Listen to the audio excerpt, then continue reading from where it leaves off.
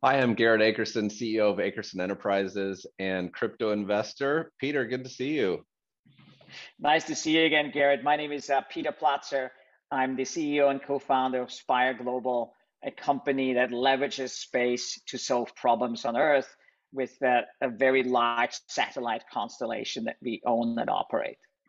So it was very serendipitous that you and I met at a conference and we're talking about how we can combine crypto and blockchain with climate impact.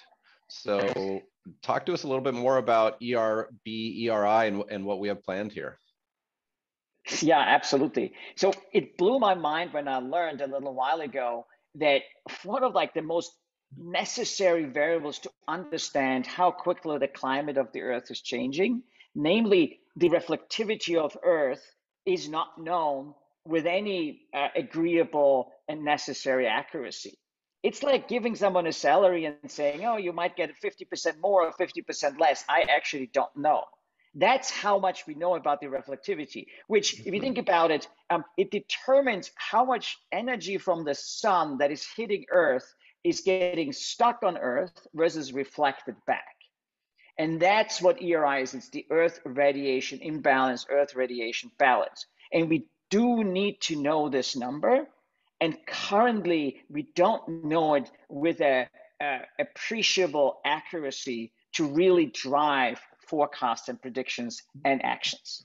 Right. There's been attempts to calculate it before, but it's my understanding that we would need a constellation of satellites to continually monitor this. So how many satellites are we talking about and what would that look like?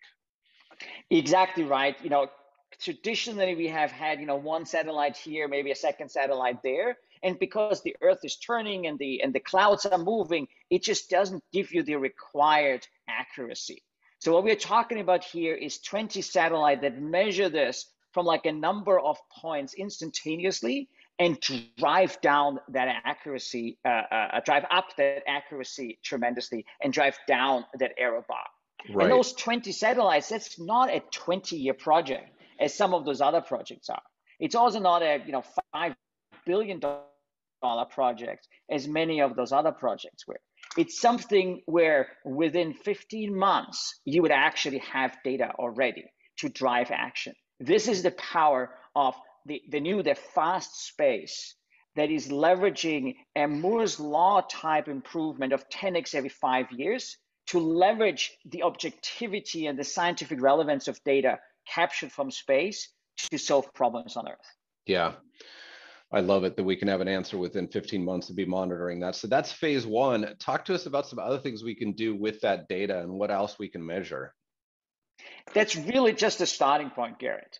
There is a large number of so called essential climate variables which can and should be measured from space, where you need a constellation of satellites to measure them with the required accuracy. Peatlands, for example, is one of the largest carbon storages.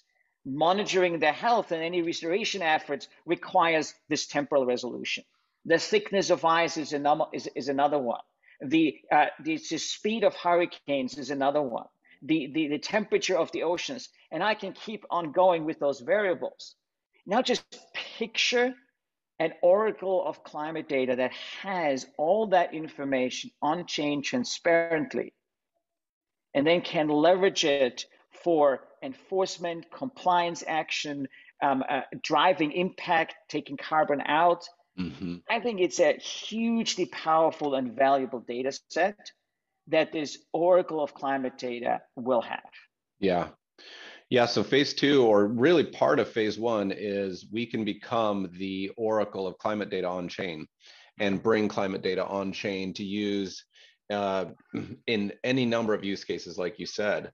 And I think that in and of itself is going to generate a ton of value for the crypto community in general and uh, everyone involved.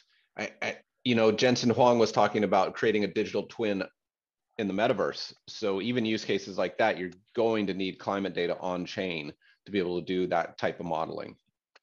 Absolutely, that's a, that's that's a great another use case yeah. of this transparency and of this objective data captured from space, completely free of any country boundaries, political influence, or corporative interests. Right. I, corporate earnings, you know, you're concerned about the next quarter if you're running a, a public company. You know that, Peter. And and governments, I mean, their horizon, who knows what their horizon is? Much longer, much slower, you know, if they ever get to it. So I think the power is is this community. We can fund this, uh, this DAO that we've put together as a community as it grows. We can then decide what we're going to do with the data in the future, uh, how we're going to license it, how we're going to leverage it, how we're going to use it, and what you know future phase two and three looks like as well. What we want to do there. Absolutely.